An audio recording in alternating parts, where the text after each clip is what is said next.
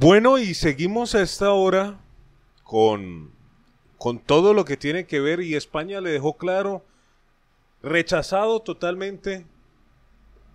Le dijeron, no señor, no se lo van a dar, no se lo vamos a dar. Así de sencillo. Nicolás, bájese de esa nube. Y eso lo hizo brincar, saltar y demás. ¿De qué trata la noticia? Directo al punto. La sesión tercera de la Sala de lo Penal de la Audiencia Nacional ha rechazado autorizar al gobierno español a que envíe a Venezuela al empresario Diego José Mármol Rojo. Ustedes se acuerdan de este personaje. ¿Y por qué el régimen del dicta lo está ahorita pidiendo? Y tiene rato pidiéndolo. Le dijeron clarito, hey, hey, dicta, Nicolás, no, bájese de la nube, así de sencillo. Quienes, según el testimonio de un opositor venezolano, había facilitado información de cómo el régimen del dicta eh, hace todos sus movimientos con los que hizo con Saapsito, con la Sancio, que brincó aquí, brincó allá, mejor dicho, en un brinca-brinca, hizo jugadas maestras en este gran partido. Así consta en un auto de 17 de abril al que ha tenido acceso toda esta información. La fiscal de Venezuela, dirigida obviamente por Tarek William Saab, dice que Sancio por, por Europa, por múltiples cosas a opositores, comisionó, porque él no puede, a la Dirección General de ellos, de los uniformados, el, el buscar del venezolano, el mirar, el, el, el indagar, para que investiguen, investigara una, algo más de lo que salió de PDVSA. Todo esto va con el cuento de PDVSA en la que habría participado Mármol Rojo. En concreto, las autoridades y demás le dijeron, no, ya va. ¿Sí? Un momentico. Sea, este show, usted opínelo, porque está interesante. Según las situaciones, la información procedente de este país, las actuaciones bastante particulares, irregulares y demás del reclamo, no solo mantienen a la empresa concernidas, sino que también habían otros campos más abiertos del patrimonio público. No solo estamos hablando de PDVSA, de cosas aún mayores, ya que estos grupos estructurados siguen haciendo lo que hacen con el permiso y la autorización del dicte Miraflores. Ese fue otro punto que ayer discutíamos y me decían, mira, muy sencillo, todos los que están de este cuento de PDVSA, ellos están resguardados por el dicta Miraflores, porque todo pasó por las manos del dicta Miraflores. Y eso no es un secreto para nadie. Y si no lo sabías, te lo cuento. Esos más de 21 mil millones de dólares, 29 mil millones de dólares, y lo que regaló es 700 mil millones de dólares aparte. Aparte de los 250 mil dólares que recibe Diosdado como una mesada especial para él porque él es el vocero oficial.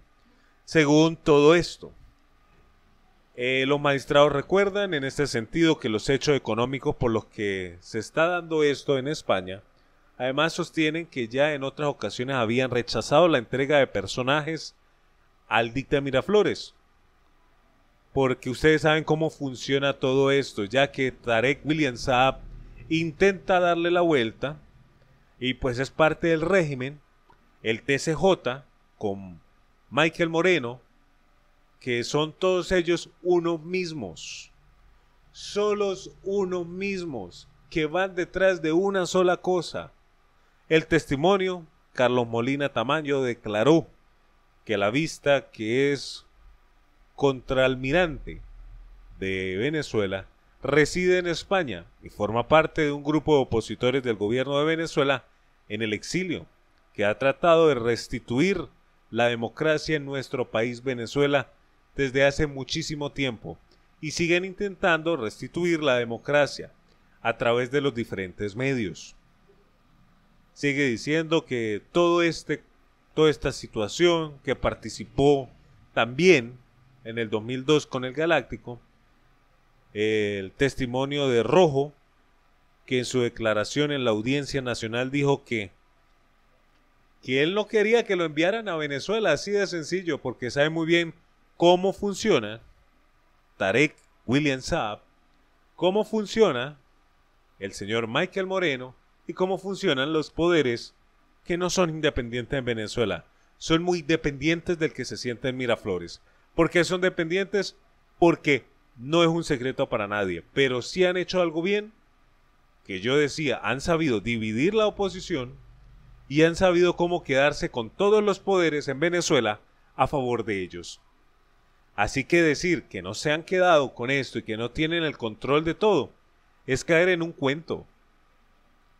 Por eso, yo le digo a usted en este momento, usted opine referente a esto. Esto está pasando en el país, se lo dejaron clarito, mire. En España le dejan dicho que no se lo van a enviar, no lo van a dejar, no lo van a entregar entiéndalo y que no se lo olvide. ¿Por qué?